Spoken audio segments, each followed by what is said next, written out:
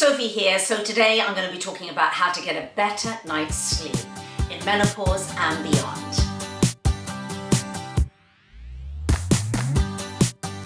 All right, so I'm really excited to talk to you about this topic.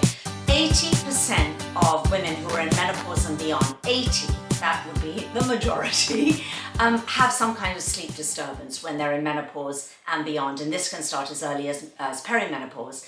And the deleterious effects on your health from not getting enough sleep are, are, are, are can be pretty can be pretty extreme. Um, it affects everything. You know that, don't you? From, you know, if you have a bad night's sleep and you wake up in the morning, you, you feel irritated, you feel sluggish, you have no energy, you might have brain fog, you are more likely to comfort eat um, or eat foods that are high caloric foods because you need the energy to get you through the day. And the list goes on and on. It can affect your brain health, your heart health. It can affect absolutely everything. And most eh, significantly for me, because I'm a weight management specialist and I coach and help women over the age of 45 to get into the best shape of their life, and part of that is releasing um, unwanted fat and unwanted pounds. When the women that I speak to and they first come to me um, and they say to me, I, I really am only getting six hours sleep, five hours sleep, or completely interrupted sleep, then I know it's something that we really need to look at. It's a very important piece of the puzzle when it comes to gaining weight after menopause. So back to those root causes. So the root causes could be um, hormonal, shifting hormones and, and um, sex hormones plummeting. Um, it can also be a chronic disease. So if you've got um, insulin resistance, prediabetes, type 2 diabetes, inflammation, chronic inflammation, aches and pains, autoimmune. There can be underlying causes that can also cause sleep disturbances too, or at least make your menopausal sleep dis disturbances even worse. And then, of course, being overweight or obese, that can lead to other kinds of sleep disturbances, such as uh, breathing issues, sleep apnea, and the list goes on. Everything is interrelated. All of these things are interrelated. Bottom line, we have to deal with the root cause. So if you do have chronic illness, if you are overweight, if you have, um, you know, if you know that your hormones have plummeted, um, deal with those as well as the five tips I'm going to give you because I'm always about dealing with the root cause so that you really can have a long lasting solution. All right. But let's get into my, my five tips, which have made a big difference to me, which is why I'm sharing these with you. I am postmenopausal. So I have been through the whole sleep issue situation myself, and I can honestly say that these five tips have made the biggest, biggest lasting difference for me. So I'm really excited to share them with you. So number one is have a regular bedtime. Pick a regular bedtime. So for instance, you know, what you really want to do is you want to reverse engineer it. So you want to look at what time do I need to wake up in the morning in order that I can get in my morning routine before I start my day or before I go to work. And I work with my clients a lot on creating a really bulletproof morning routine. Hopefully you have a great morning routine. But I want you to really look, okay, so I need to wake up at six in the morning or I need to wake up at 5.45 in the morning. Great in order that, that I can get everything done before my day starts. Fantastic. So what time do I need to go to bed in order that I can get seven to nine hours sleep? Let's just go with the average because all sleeper experts agree that seven to nine is the, is the golden number. So let's go with eight. Eight, eight and a half is where, where I am. That's a really sweet spot for me. So if I need to get eight and a half hours sleep, and I need to wake up at six, no later than six, like get out of bed at six in the morning, then what time do I need to go to bed? So what you want to do is make that calculation and be very realistic about it because then you can set your bedtime. And once you've set your bedtime, the word is regular bedtime. Because if you go to bed one night at 9.30 another at 10 the next at 10.30 then the next at 9.30 that's not regular.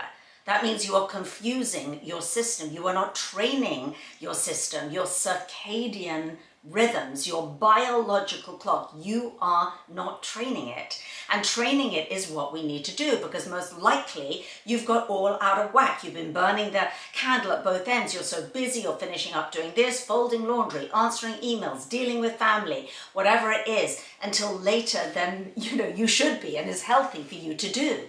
Whereas if you set a bedtime and that's absolutely non-negotiable, number one, you've created something that that is non-negotiable, much like you would do for a child. A small child, you would go bedtime is whatever it is, 7 p.m. or 8 p.m., lights out then, and that's that. It's the biggest gift you can give to a child because then their system will train and that will be sort of almost encoded into their circadian rhythm for the rest of their life. Lost, many of us ladies have lost that, so you need to retrain yourself. The only way you can do that is by setting a regular bedtime, the same time every night. I cannot overstate the importance of this. It might take two to four weeks for you to actually train yourself. Right now you might go, well, there's no way if I set my bedtime at 10 or 9.30, there's no way that I'll go to sleep.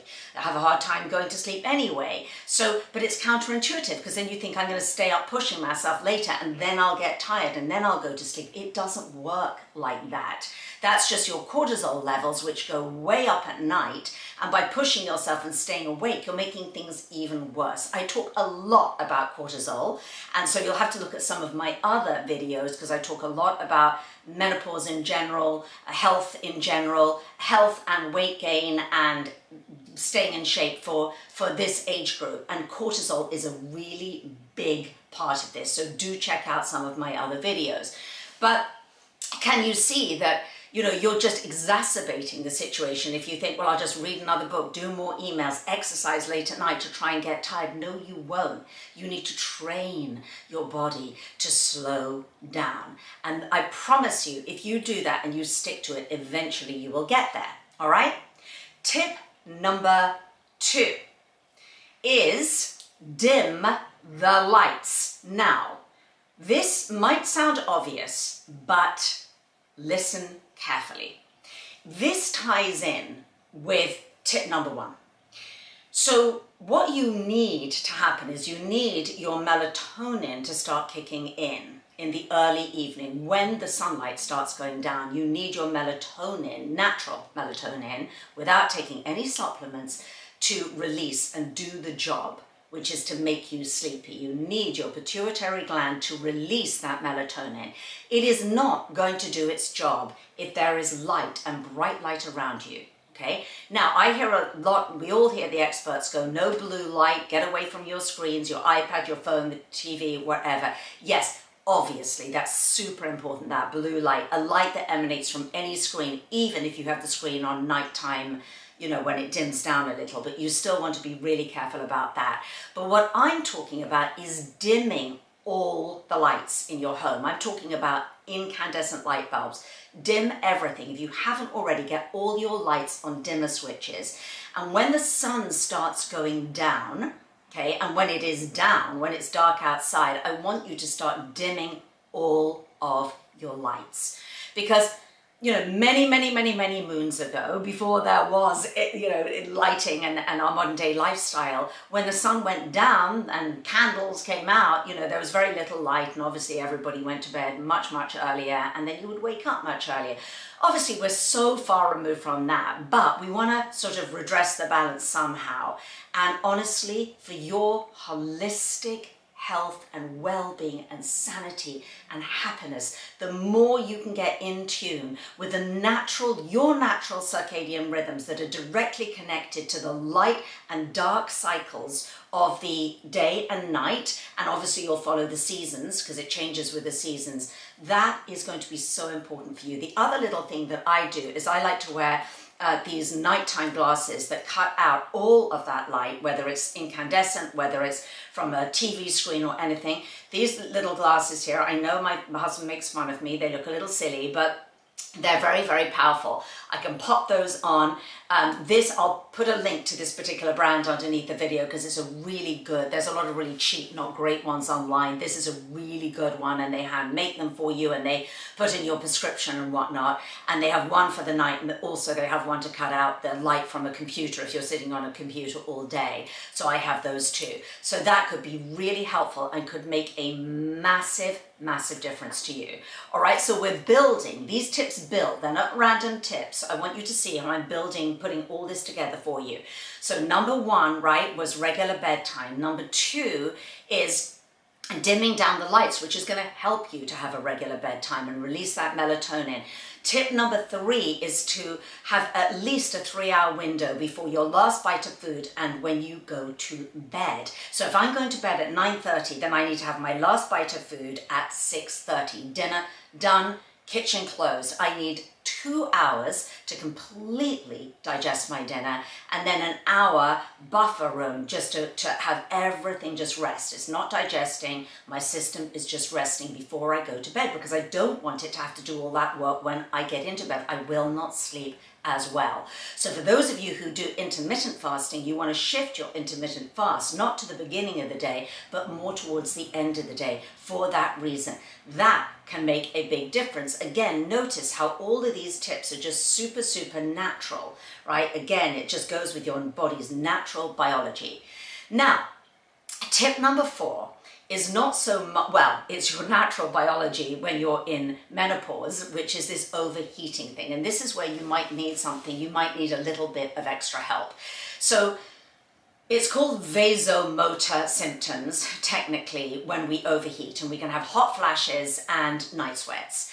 And they, uh, they can be independent. So you can have hot flashes in the day and then you can have hot flashes with no night sweats and then you can have night sweats with no hot flashes. They're a little bit different. Sometimes hot flashes at night can precipitate a um, night sweats. But for me, uh, because of the way I eat, I think, because I'm a nutritionist and I do a lot of research and have put into practice eating to really significantly reduce this, um, symptoms of hot flashes. It wasn't really a hot flash thing for me. I, was, I, I, I made sure that that wasn't going to be a big issue for me. But for me, nonetheless, it was just getting overheated at night. There was a real problem. And it was a problem for my husband and I because he sleeps very cold and I sleep very hot. Hello that's a bit of a situation because it, it would turn into the heat wars at night. I'd be like, listen, all the sleep experts say that, and by the way, the latest studies now say that you, your room, ambient temperature in your room, best for best night's sleep needs to be between 60 and 67 degrees Fahrenheit. So I really did lay that research um, on, in front of my husband for him, and he's like, mm, yeah, whatever. So now we've got the, the thermostat down to 68. At least we've got it there, but it's 68, and unfortunately I can't control it because he goes to bed after me. Um, so that's where it sits right now. So that's as cool as we can sort of get it. And we, I live in California, in Los Angeles, Southern California, where it can get pretty warm. It can get, you know, stay pretty toasty at night. But that's the ambient. Yes, fan in the room, fantastic.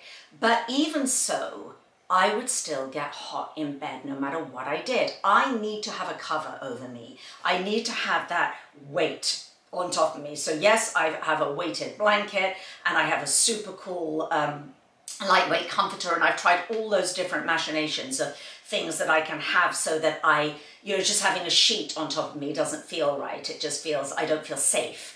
So I need to have the weight of something um, on me. But then, okay, the question is, how do I solve this problem? That I want that and I want to stay cool. I want the bed to be cool and my husband needs complete the opposite. So he needs, he's freezing at night, gets absolutely freezing cold. And so I looked around at some of the, the cooling devices, the mattress cooling devices, and I want to very quickly go over what I found because I think I've got a solution here. So first off, I looked at some of the mattress toppers, which are the ones that are the cool, to, just cool to touch. And these are ones that you're going to see in places like Bed Bath and Beyond and they're as, hey, cool mattress or cool pillow or whatever. In the industry, it's known as cool to the touch. I don't like those. I don't think they work and I don't like the materials they're made out of. I think they're a waste of money. That's my personal opinion. So that was out of the question. Then I started to look at some of the really fancy um, ones that are the water ones. So they're these water mattress cooling systems. And I really looked at that, did my research. A number of things that I didn't like. One, I didn't like the fact that um, there was water involved because there can be leaks, there can be problems with that sort of leaks and dripping and whatnot, and then that leads to bacteria. That horrifies me, so I could never do that. Plus it's cumbersome, plus there's a reservoir and it's just a cumbersome thing. And I looked at all of that, did the research, and I'm like, A, it's not gonna fly with my husband in any way, shape or form, and B, it just doesn't feel right. I don't wanna do that, and it's also extremely expensive. So I'm like, you know, for the, for the better made one. So I'm like, not gonna do that. So then I came across, across something called Perfectly Snug. And Perfectly Snug is an air cooling or an air heating system. And what is absolutely genius about it is it solves the kind of, you know, his and her, if you like, problem is that I can have my side of the bed super cool and he can have his side of the bed super warm. Isn't that amazing? And so, um, so I have tried uh, my Perfectly Snug for a couple of weeks and I'm going to tell you, give you my results of what I really think and how it worked for me um, in a bit. Um, but first I just want to quickly show you what it looks like because when I was searching for it I was like, yeah, kind of what does it look actually look like on the bed? It was like a little bit confusing for me. So I want to show you that and I and um, and, and show you what it looks like when I unboxed it and put it on the bed before I made the bed up. Um, but it's called Perfectly Snug and as I say, it is a total air system, air cooling and heating system. So let's take a look at it unboxed on my bed. Okay, so this is the Perfectly Snug unboxed. I'm not going to bore you with the unboxing. It's actually really easy to unbox. And um, it's like a, a, a you know, is this is the thickness, I just wanted to show you, of the topper itself. The mesh goes up, there's a cotton, uh, underneath it's just cotton. The controls are at the top end, much like if you had an electric blanket or something, you just plug that in behind you. There's two dual controls, which is awesome because there's dual control, you know, I can do all my own controls on my side for major cooling and he can do all his controls on his side for heating. And there's also a foot um, warmer uh, control and there's all sorts of good stuff. And it comes just with a quick start guide. And I will say it's really easy. So you would connect it to your app and then the, the instructions are or I should say connect, get the app and connect it to your topper. And then you can control everything from your app. You can set the timing, the days of the week, the temperature, the cooling. You can put everything in there for each side, which is really, really useful. And the thing that I really, really like about this is that I really do like the fact that I don't have to use the app to control it that there are buttons on the side that I can just literally reach over if I want to use the quick burst function to get a quick burst of cool, hello, hot flash night sweat, then I can do that, which is so awesome. And I can just get that quick burst. Or if I want to dial up the cool a little bit more, I can do that. If I want to dial it down, I can do that. If he suddenly gets freezing cold in the middle of the night, he can um, you know, dial up the heat. So that is fantastic because I think, as I said before, the last thing that you want to do is have to sort of go and reach for your phone in the middle of the night. So easy. you lie down, you reach for the button, and it's just on the side there, and you just click whatever you need to do. So that is how easy the unboxing and the setup is. Okay, bed made up. Um, yeah, so, so, so, so, my results from sleeping with the perfectly snug for a couple of weeks are thumbs up. Now, I think the thing that I like about it most is that I can control from the app how I want it to sort of cool me during the night. And, and you'll figure it out when you use it. So for instance, you can go, okay, in the first part of the night, I want it to be, you know, cool three. Then, because I know that time of the night, which is probably about two or three in the in the morning, that's when I just know for me that's when I can start really heating up a little bit more. So then I can control that, that I can get that lovely cooling in then. Um, the thing is, what I love most, and I don't think some of the other beds, certainly not the water systems, have this, is this blast feature. So I can just press the little buttons and I can do a blast of cool when I need it. That is absolutely awesome. My husband loves the foot warmer thing because he runs, as I said, very cold, but particularly in his feet. He's super tall and his feet get super, super cold at night. So he absolutely loves that.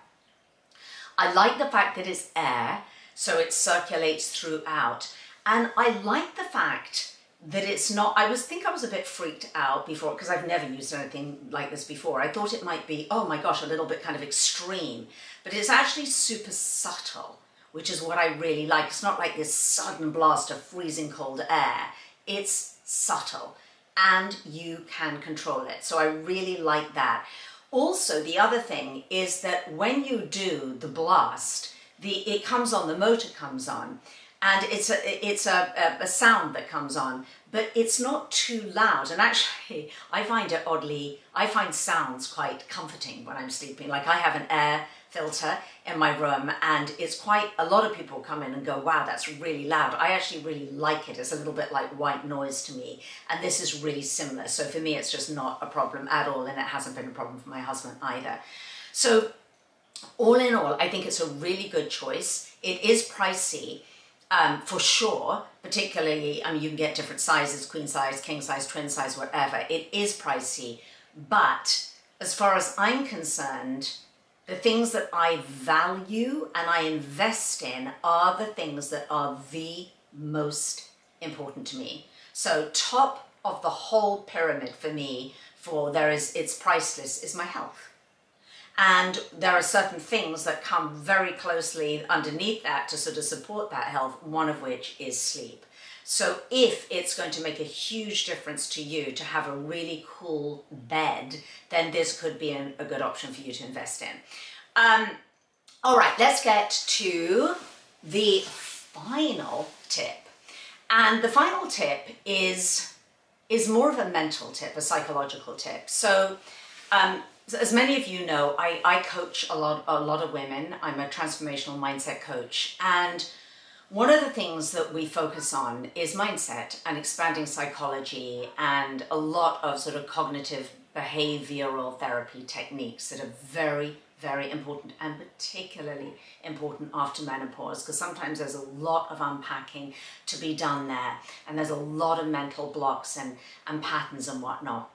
So that's way deeper and bigger than I can go into the scope of this video. But one thing I will say, and one thing that I have all my clients do, is stop the bad news. Stop the bad news. Sounds obvious, but you know, if you watch the news, it's bad news. And even if you watch five minutes of news, it's bad news. If it leads, it bleeds and then you watch the news and then you get onto your social media and you get onto your Facebook feed or whatever it is or there's always bad news. There's always something to be terrified about or scared about or to freak you out or to make you angry. Always, always, always. I call TV the dream stealer in that way. So make it a very, very big priority to you to at least start looking at how much time you spend consuming in the morning and in the evening news that's bad and start noticing how you feel after you've watched the news, after you've watched a particular TV show. It's not even necessarily the news could be a particular documentary or a news type of show or something that freaks you out. It could be about murder or something. Just start noticing and being so sensitive to how what you're consuming, the media that you're consuming, makes you feel. But just stop the bad news because it affects you. It affects how you sleep. It affects your cortisol levels. It ramps them up even more. It's definitely going to affect how you go into a night's sleep. It affects how you dream. And it's going to affect how you wake up in the morning. Your first thoughts in the morning. You know, very often going to be driven by fear and anxiety, if not panic. So that's such an important piece. You don't need to listen to the news at night. You can get all your news from one, just pick an app. There are lots and lots of little quick apps that give you all the news you need and, uh, to know in five minutes, or you can read it just in five minutes, done and dusted, never have to look at it again. All right? So those are my five really important, powerful tips for getting a better night's sleep. Link to the glasses, link to Perfectly Snug um, with a coupon code, uh, discount code in the underneath the video, and um, and let me know put your comments underneath this video. I want to know how you sleep or, how, or what is interrupting your sleep and maybe some of the remedies that you've tried. There are all sorts of other things and lots of other videos that I have such as, you know, yes, some supplements can take, make a difference. Yes, some teas can make a difference. Yes, there's other things that you can do that factor in and there, there are a lot of other tips. But these are the heavy lifting tips and again really speaking to addressing the root cause of what's really going on as well. And again, I'll finish with if there is, if there are root cause issues such as um, chronic disease, inflammation, characterized maybe by aches and pains in your joints, and systemic inflammation throughout, pre-diabetes, di diabetes, if you're overweight, going into obese, if you have sleep apnea, um, if you have some of these issues, those are root causes that need to be addressed. And you can go and visit your doctor and discuss those, get some testing done, see what's going on underneath the hood, and look at some of my other videos because I address many of those issues in my other videos. I'll see you next time.